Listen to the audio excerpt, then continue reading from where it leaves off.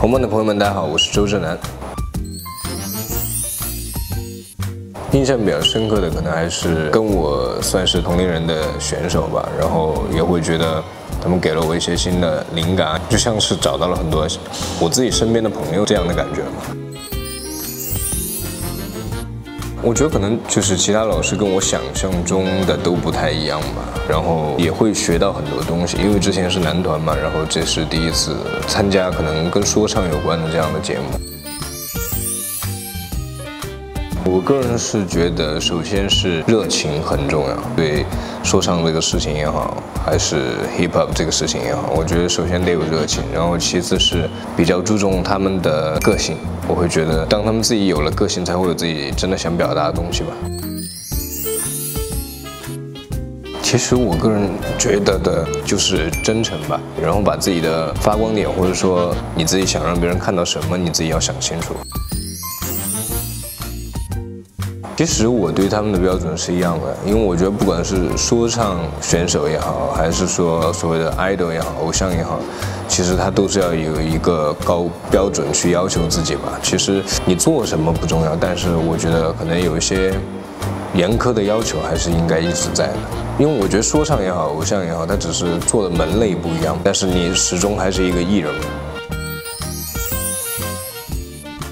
其实没有，因为我觉得可能男团结束了，现在去参加说唱节目，但是我觉得不管身份是什么样，我还是我，就是他是没有变化的。对，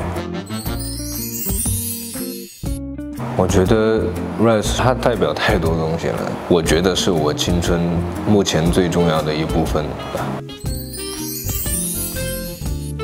其实没有，我们也私底下也会经常。见面也好啊，打电话也好啊，就只是可能工作的时候不会在一起。对，刚开始还是会有点不习惯，也会觉得空空的感觉舞台，因为以前是十一个人嘛，现在是一个人。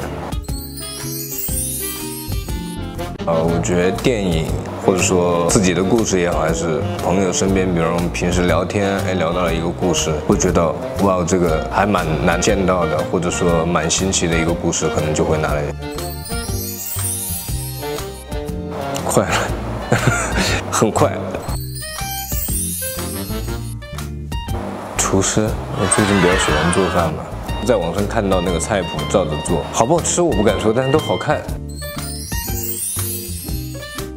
最近比较想旅游吧，我想去山里住着，想，但是还没有执行。